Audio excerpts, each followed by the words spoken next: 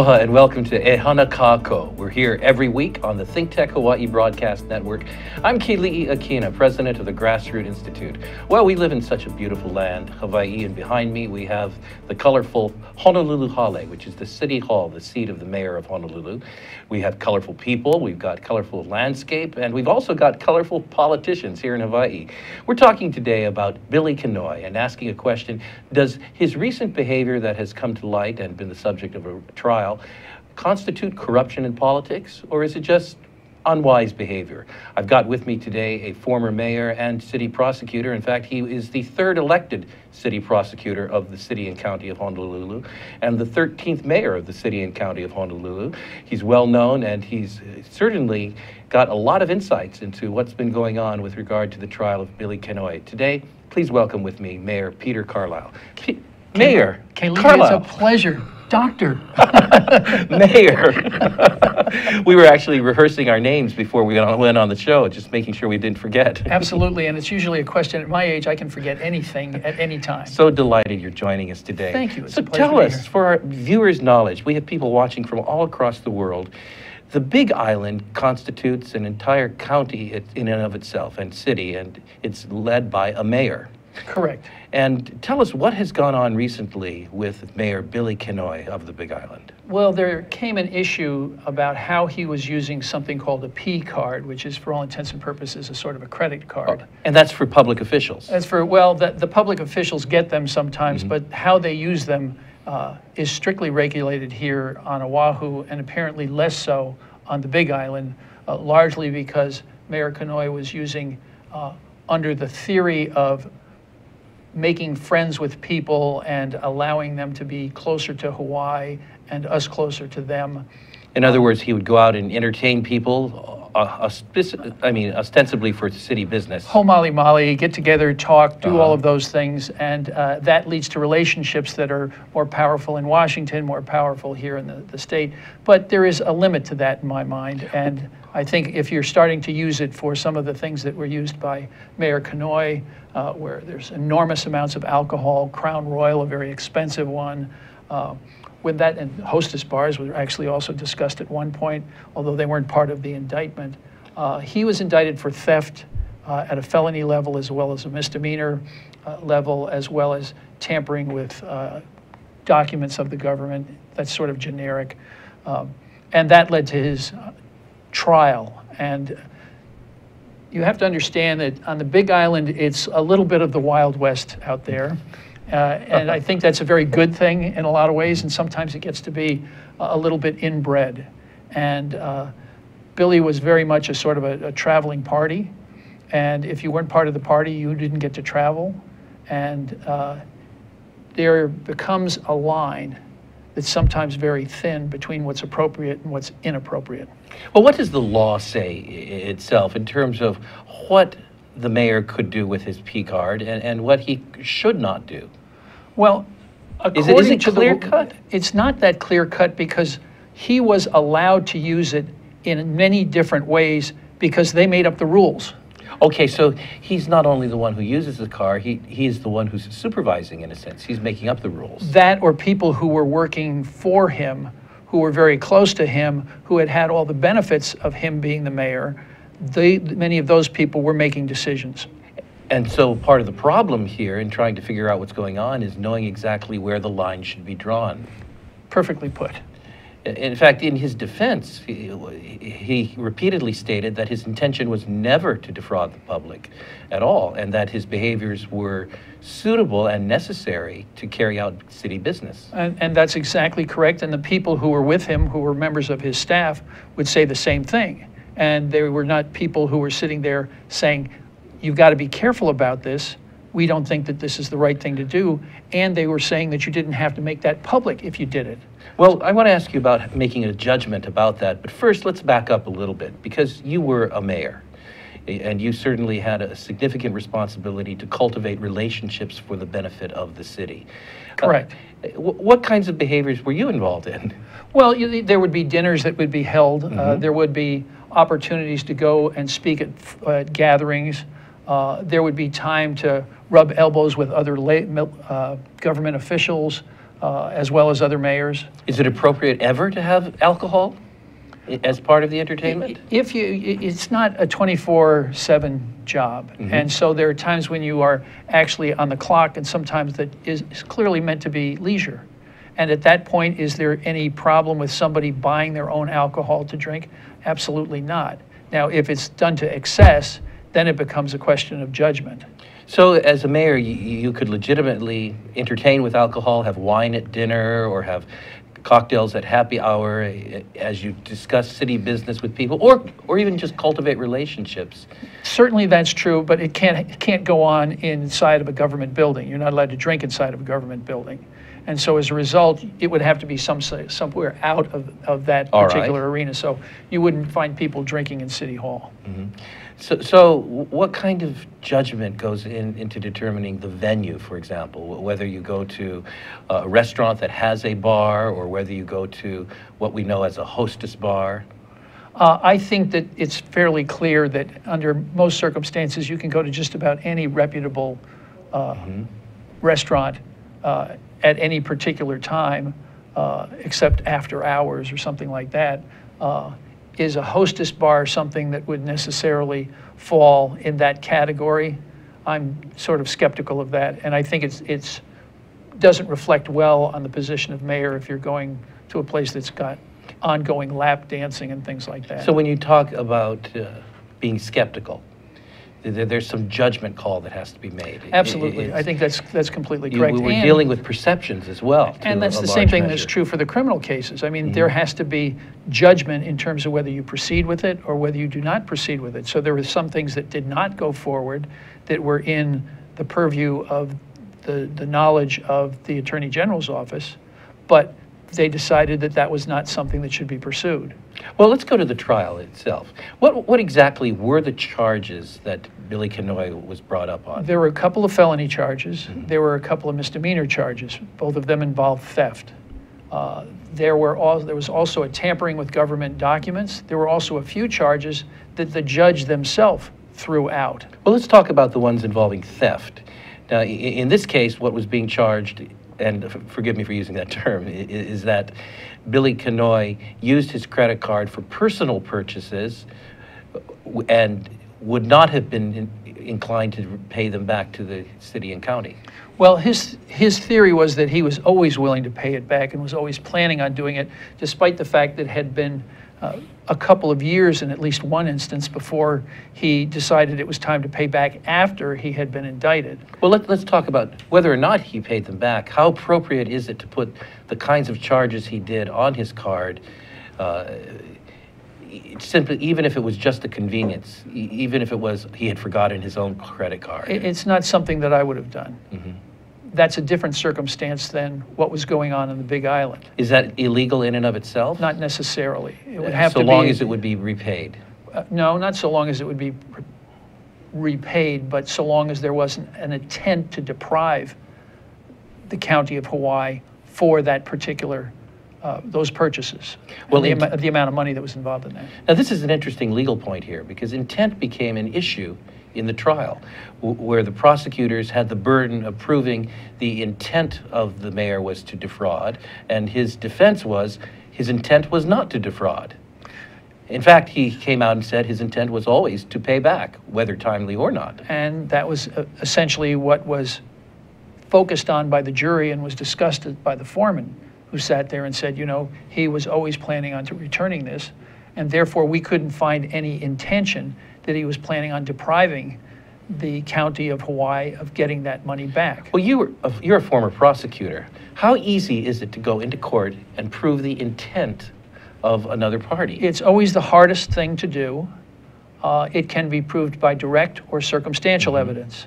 Uh, So there is nothing the matter with circumstantial evidence, but you have to look at that and determine whether that will show you what is called the mens rea, the guilty mind. You can see the guilty act sometimes with direct evidence. He stood over her and shot four times in, into the back of the person's head. Uh, on the other hand, the question is what is their intent to do uh, in terms of who that person might be. So you, If this is somebody who has just jumped through a window came charging into the room and had an axe in their hand, uh, you would be able to intentionally shoot that person, but you would be covered by the thought of self defense. You would have to be able to show that it was self defense. And frankly, in a case like that, it would never pass the police department or the prosecutor's office. In the case of Billy Kenoi, how would you have shown that there was clear cut intent to defraud the people? Well, uh, uh, some of the things that might show that mm-hmm. uh, was something that's outrageously inappropriate, such as the hostess bar. Uh, on the other hand, if somebody had routinely said, no, you can't do this, and it was a person who was credible, and it was somebody who liked Billy Kenoi and wanted to make sure that he didn't get himself in trouble, uh, that could be somebody who might be capable of saying, look, I told him over and over again, stop doing it. It's not appropriate. It's not even legal. And once you do that, then, and if he's ignoring that advice, uh, and that's a, an absolute ground rule, if you had a rule that said you cannot use your P card for A, B, C, D, E, F, G, and he violated that, then he would have been in significant difficulties legally. So before we go to a break, let, let me see if I understand this. The, the, the need in the, the, case in order to, for the prosecution to win would have been to show a guilty mind, not a foolish mind, not an unwise judgment, not, not a selfish mind, not any of that, but to show that he actually was guilty of breaking the law. Well, it, it shows that there's not enough evidence to prove it. There's a big mm. difference between uh, somebody who is found not to be guilty as opposed to somebody who didn't do something wrong. I think we all know that. Well, when we come back from a quick break, tell us exactly how the court ruled, and we'll talk a little bit about that. Okay.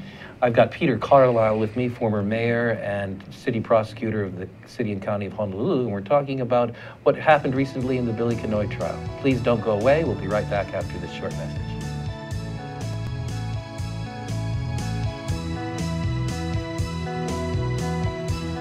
Aloha, everybody. My name is Mark Shklov.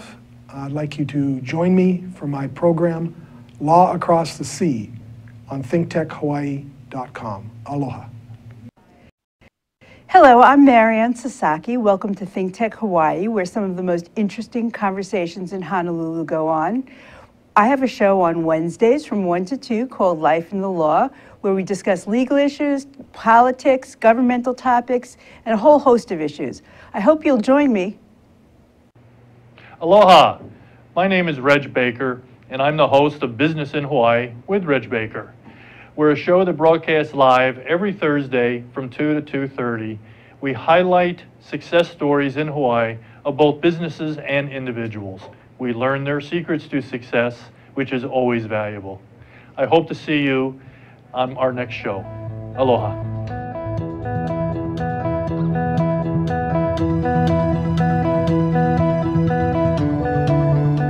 Welcome back to the second half of today's Ehana Kako on the Think Tech Hawaii Broadcast Network.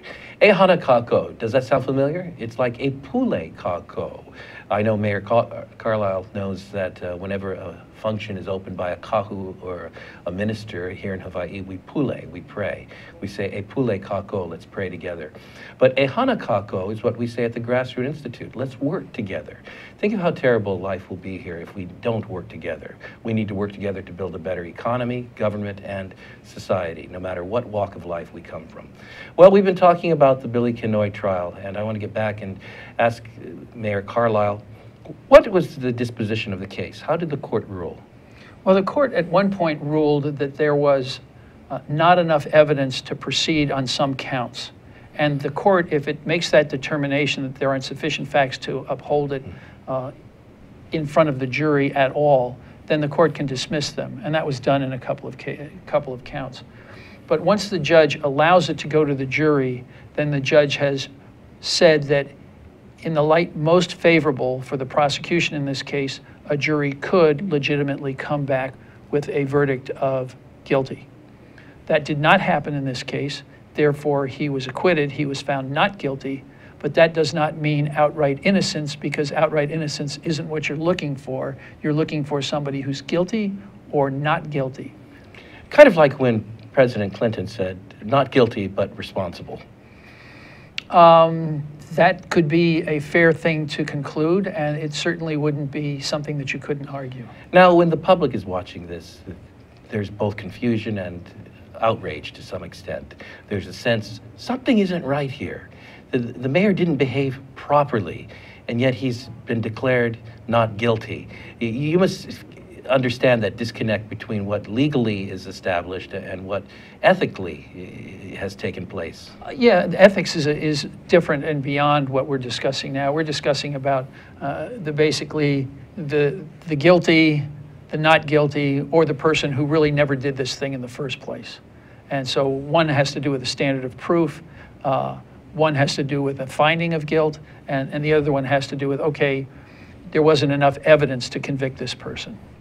What are the implications of the, the ruling in the court? Or maybe that's not the right question to ask. Well, maybe I should be asking, what are the implications of this whole episode for Hawaii? Well, I, I would think that it requires uh, a response that's, that's more specific in terms of what you can and can't do.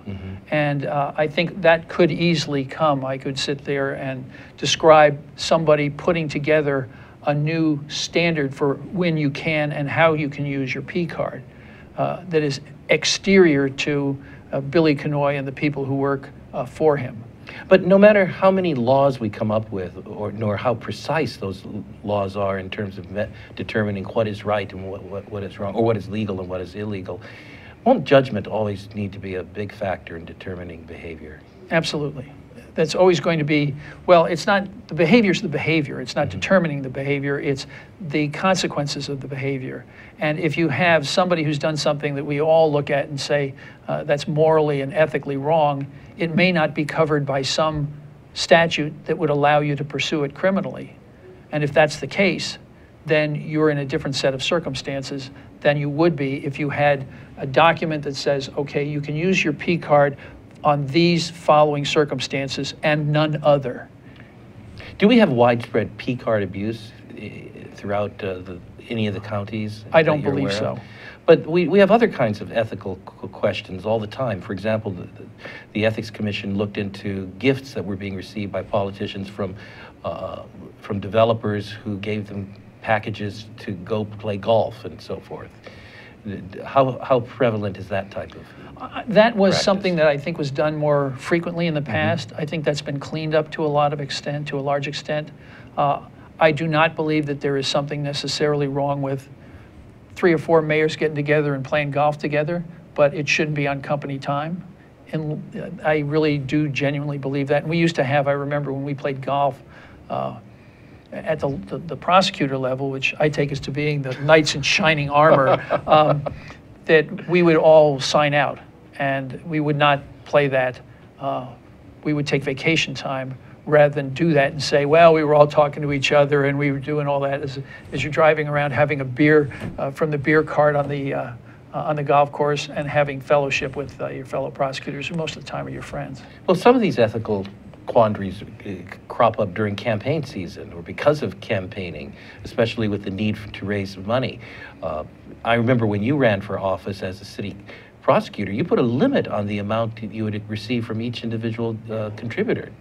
I did, just because I thought that it made sense, and I thought it would be something that I could also use to sit there and say, hey, look, you know, it's not just a few people who are supporting me, it's people who uh, want to have a change in the prosecutorial regime, and these are the reasons why you should support me. It was, it- you know, it was very different in terms of the first time that I went, because I was up against somebody who I looked at as being uh, very ethical and uh, actually a very nice guy. It was uh, Dave Arakawa, who he and I are, are good friends right now. But you're still fighting to win that particular spot. And so there was conflict, but it was done not only in a civil way, but in an ethical way as well. When politicians t- take office, they make decisions that affect parties that are capable of contributing to their campaigns. Sure. For example, with the Honolulu area uh, rail that is being built, many council persons have received contributions from rail developers. Uh, How do you draw the line between what, what is uh, appropriate and not? Well, we, we have a, a system that allows people to contribute to candidates who they feel are worthy and they want to help. And you don't look at somebody's occupation in terms of that being different. But it, the question is, did, was anything done illegally? In other words, did all of those contributors for one of these large construction company, did they get there and say, look, I've got a million dollars. Now what I'm going to do is cut that up and give it to each one of you people, and I want you to say it's what you're doing and giving for this particular candidate. That can't be done. It's called bundling. But on the other hand, if people want to give to a particular uh, candidate, they're free to do so. So the, the fact that a rail developer or contractor gave to a city council person isn't in and of itself something unethical. But what would have to be shown is that that city council person acted in a way that benefited that contractor. And then In there would be a conflict it- of the- interest. The, the- the operative word is quid pro quo. Yeah, was there a quid pro quo? Pay to Uh, play. Yeah, and pay to play is another way of putting it. Yes, if that's going on, that's illegal. Uh, On the other hand, if it's part of an ongoing ability to support somebody who is in a- taking a position that's important to you, that's important for the community, and important for even their business, there's nothing wrong with that. Well, in the current mayoral race, uh, in this 2016 election season, oh, there, an ethical question has been raised about one of the candidates who is mayor of Honolulu now, Right. but also sits on the board of a bank and is compensated quite handsomely. I- I- what are your Yes, I'd say it's in a remarkable way. I, you know, the only thing I get back from my banks is like 1.2%. It's my own money that's uh, uh, giving me that the opportunity to get that. Uh, getting uh, $200,000 for like a couple hours of work a month uh, must be really nice for his uh, bank account. I don't know if that's really nice to have for somebody, a mayor, having that many different bosses. But the mere fact that he sits on the bank board and is compensated, is there any problem with, with that in and of itself? No. If there was, I'm sure it would have been taken care of by, one, a a prosecutorial Mm-hmm. agency here, or two, a federal, a federal agency. What would have to be shown for it to be truly an ethical problem? Well, if, to, to show that it was truly an ethical problem, it would have to conflict with uh, the city ethics, and at least for one time, it did not. And the question is, this becomes more the person who is the mayor. Is that something that he can do? Absolutely yes. Is it something that he should do?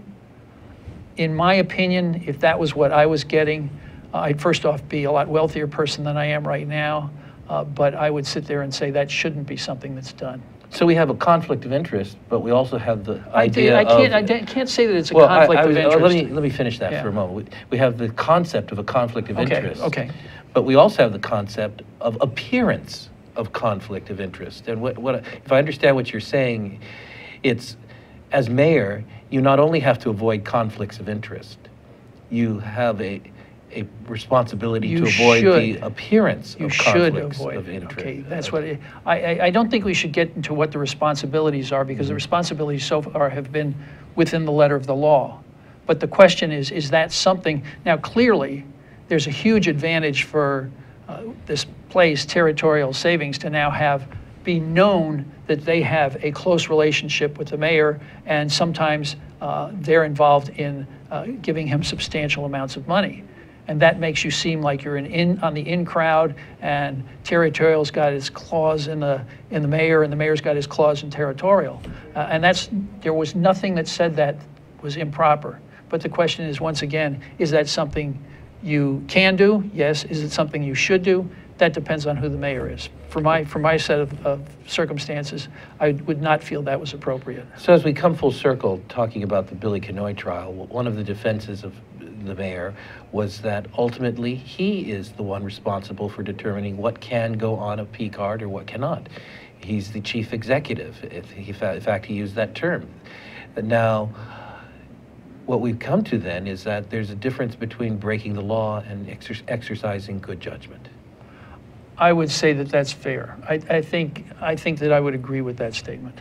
And uh, yes, the law isn't broken, uh, but the shameful treatment by the Caldwell administration of Chuck Totto, a person who gave ethics to the city, who created an ethics commission, uh, was in my, my mind distasteful and uh, in a large way something that makes you lose confidence in the government and the administration that's Mm. currently there.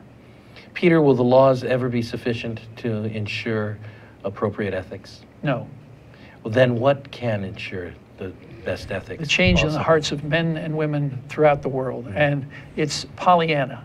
It just won't happen. It's, it's one of those things where there will always be this type of conflict. And the, you're going to have to figure out how you hire the right type of people who won't behave like this. And how we elect the right kind of leaders. Exactly. And I think right now the, the, the things that we're seeing are going on in Washington, D.C., the things that we're seeing are going on in the mayoral race in Honolulu. Uh, you have to take a step back and say, how can we do this better? And how can we get people to vote people, not because what they're promising you or who their friends are, but for what their accomplishments have been and are those the types of accomplishments that you want to carry forward the business of the city or the business of the prosecutor's office? I would imagine with our low voter turnout in Hawaii, we have very little to complain about then in terms of the fact that we don't hold our leaders accountable. It seems like the numbers are going up. Well, let's hope so. I'm very optimistic that that will be true on a national level. I don't know quite so well how it's going to be at the local level, but everybody should get out to vote. You have the option of voting yes for person, no for the person, or you can leave it blank to protest the caliber of the people you've been given. Well, that's a good note to end on today because as voters, we're the ones who hold our leaders accountable. Exactly. Mayor Carlisle, thank you very much for being with us today. Doctor. Delightful to be with Peter Carlisle today, and uh, I think his life is one in which he can reflect upon a, a, a wonderful term of service to the people of Hawaii. And uh, again, Peter, thank you so much for being with us. Uh, no offense meant to Mayor Billy Kenoi. Uh, we were more interested in talking about the, the actual trial and talking about the issues involved here. And we wish him the best as well. I'm Keli'i Akina for the Grassroot Institute on Think Tech Hawaii's Ehana Kako. Until next week, aloha.